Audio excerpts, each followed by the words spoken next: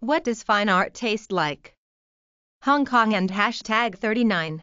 Latest dining trend has culture connoisseurs pairing elements of gastronomy with visual arts. For more details, click on the link below.